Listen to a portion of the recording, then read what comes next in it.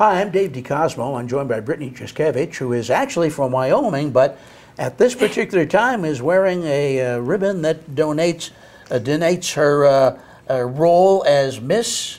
Greater Reading's Outstanding Teen. Well, congratulations on that. But Thank last year you. was Wilkes-Barre, was it not? Yes, last year I oh. was Miss Wilkes-Barre Scranton's Outstanding Well, th- that shows you've been a winner many times. I know you also, I believe, were Miss Tomato Festival for Yes, 2017. 17. All right. The mm-hmm. history history of victories for you, and you're here, however, not because of a pageant, but because of a cause. Yes. Tell us what's happening, where, and why it's important.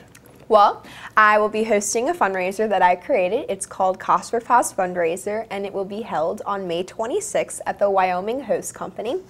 And it's important because it benefits two very important causes animal shelters across Pennsylvania, as well as the Children's Miracle Network.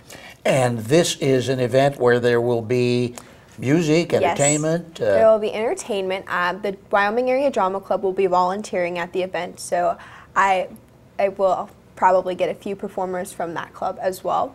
But um, a lot is coming, and a lot of great food is coming to that fundraiser. why did you pick those particular charities?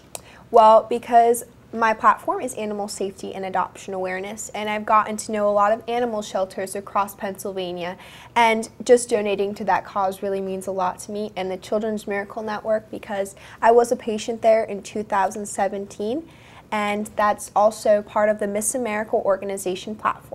Well, look at the camera and invite everyone to the big show. Okay, well, Cause for Paws fundraiser will be at the Wyoming Host Company on May 26th from 2 to 6. Tickets will be available at the door or they are available on eventbrite.com.